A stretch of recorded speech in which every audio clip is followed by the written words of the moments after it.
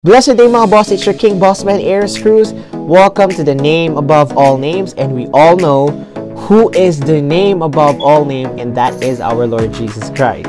For this video, this is going to be the introduction video nung series natin. I'm very very excited to tackle our first series entitled God Exists, Don't Resist.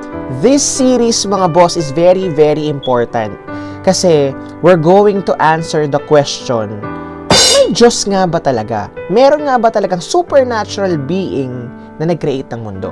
Meron ba talagang God? Does God really exist? That is a very important question to answer nowadays. Boss, gaano nga ba ka-importante ang tanong na to? Anong relationship ng series na to sa pagpipreach natin ng Gospel of Christ? If you're going to read the Gospel of John, makikita mo doon na maraming pariseyo or Pharisees. Sino ba itong mga Pharisees na to? Ito yung mga taong religious leader, scholar ng Torah or Gospel. Alam nila na there's one true God. Nung dumating si Jesus Christ sa kabuhay nila, make miracles and claim to be God, dinedenay nila si Jesus Christ. O mga boss, mga religious leaders na to ah, mga scholars na to, sobrang tatalino ng mga to alam nila halos yung lahat ng commandments ng Old Testament. They are the followers of the law of Moses. Pero nahihirapan pa rin silang tanggapin si Jesus Christ. Paano natin ma-share si Jesus Christ sa mga taong ganon, lalong-lalo na sa mga atheist? Ibig sabihin ng atheist, ito yung mga taong hindi naniniwala na may Diyos. Nakita mo na mga boss kung gaano ka-importante itong topic na ito kung meron kang kaharap na atheist ngayon, or isang taong hindi naniniwala na may Diyos, it doesn't have to be Jesus Christ, it doesn't have to be the God of the Bible, it doesn't have to be the God of any religion. Paano mo ma-share ang one true God which is Jesus Christ, the second uh, person in the Trinity, God the Father, God the Son, and the Holy Spirit.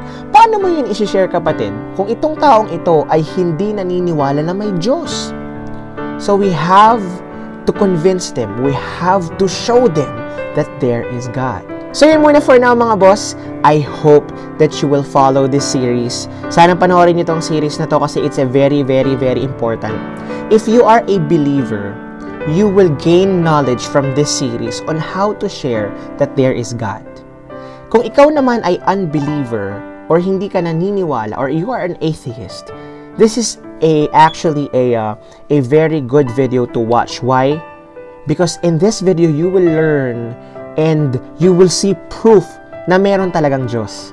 And kapatid, hindi ito aksidenteng napapanood mo. It's God's will for you to watch this. I hope that you will be blessed by the Holy Spirit to believe na merong Diyos. Thank you so much for watching mga boss. Ayan, sana magsama-sama tayo na itackle tong series na to to prove uh, of the existence of God, na meron talagang Diyos, na meron talagang lumikha. There's supernatural power, supernatural God, Holy Spirit, and an eternal God. I hope that you like this video.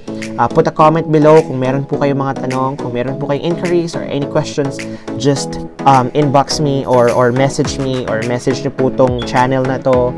And don't forget to like this page, follow this page, uh, subscribe to our YouTube channel, share.